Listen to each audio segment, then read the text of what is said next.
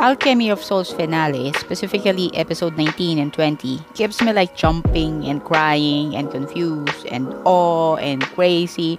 Yes, that's how they nailed the ending. If they gonna measure my blood pressure during that time, surely I might get a prescription afterwards. Let's talk about why and how they ended it while amazingly making us craving for the season 2. Unlike other series that when they cut the block for each season, you will end like, that's it? So? Nothing big deal? But in here, this is very conclusive that the second season will really be about the next journey of a totally different flow. That's something to salute to the writers and creators. So here we go. Episode 19 has a very fast facing flow that you will be like, what? and the revelations that comes one after another is just OMG, what's gonna happen next? Like the following scenes. The accident that lead to Boyon becoming Modok and saying that Boyon is actually Jang Gang's daughter is like What? Next is the meeting of Jang Uk and his father Jang Gang. I'm like, so what's the significance of this? But in the end, it was actually to save Uk from the blame of his father's sin.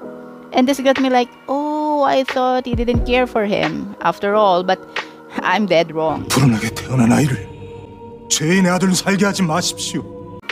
Next is Jang Uk's father, Jang Gang, meeting maid servant Kim to give her something for Jang Uk, as if he is really ready to sacrifice his life because he predicted everything. I was wondering that this kind of intelligence might be something he passed on to Modok. And the revelation of the location of the true queen. 아버지? 맑은 장신이 돌아오셨나 봅니다. 또 자해를 하셨군요, 왕비 마마. 조연아, 네가 어찌 여길? 지금 제가 들은 이야기가 뭡니까? And the confession and escape of the real evil, the sessions inside the kingdom. 단골레 최 씨는 제대로 얼굴을 보여라. 제가 전하의 비입니다. 최씨 집안 사람이었습니까? 왔어. 미안하다. 이번에 찾은 진보연도 저들이 만든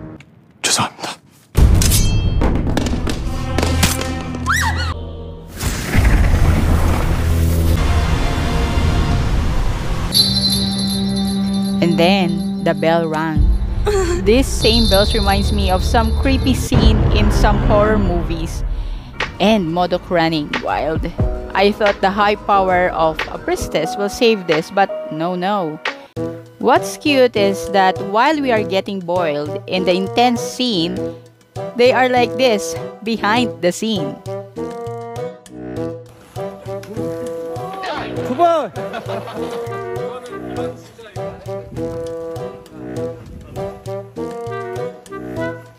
Now, let's go to the final episode, which started off so light and romantic. See these clips. 자, 그럼 이제 도련님한테 시와라. 묻어가. Wow. The not so formal but full of connection proposal was just so cute. In this scene too, that makes it so normal to mothers getting her child into marriage but actually afraid of commenting too much as they might gonna be balled back. 맞아. 이거 다 무더기 거야. Then, the scene that kills Jang-uk.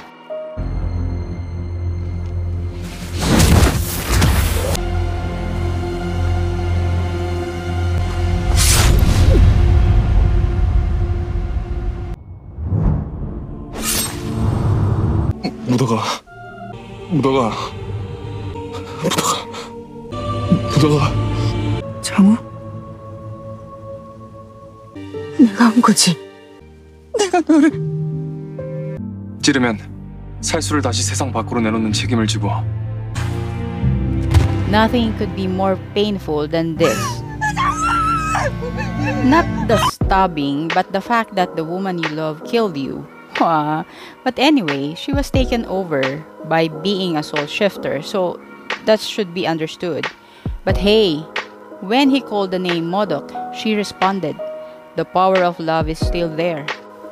Then Jang-uk rising from the dead for having the power of the ice stone and totally changes him like transforming from a lazy and bratty young master to a real man chasing soul shifters. Can he save Naksu or Modok? Ah, season 2, please come up. Going back to them making this wonderful work of art in the form of film, see this behind the scenes.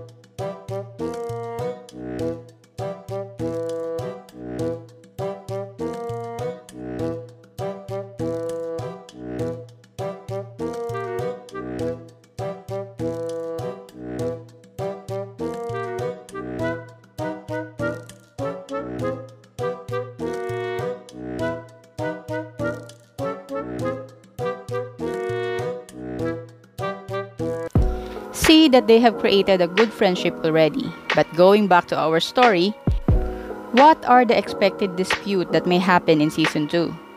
That will be aired in December 2022. First is the preservation of Modok's body, the usage of the ice stone to bring back Naksu,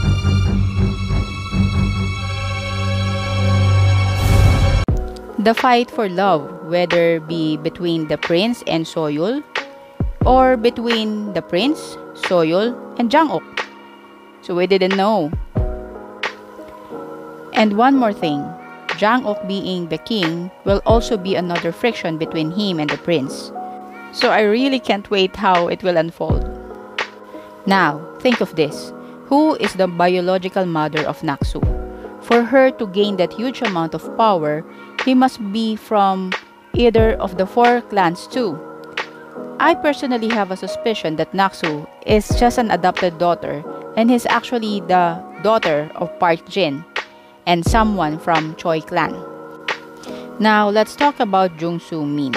Some says that it is still unsure if she will appear in the second season, but this clip tells otherwise.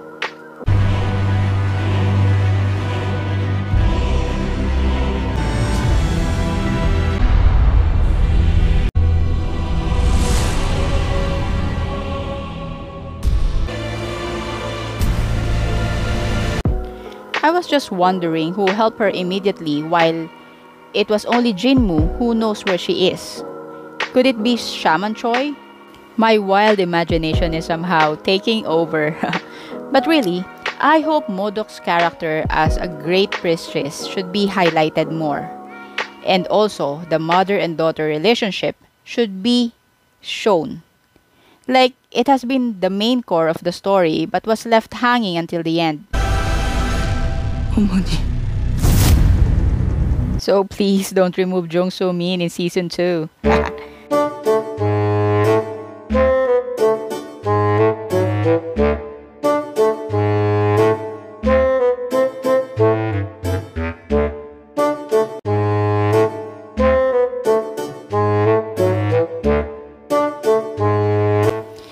That's it for now, Chingu. Share your wild guesses in the comment sections below and let's have an interesting exchanges like just talking to a neighbor.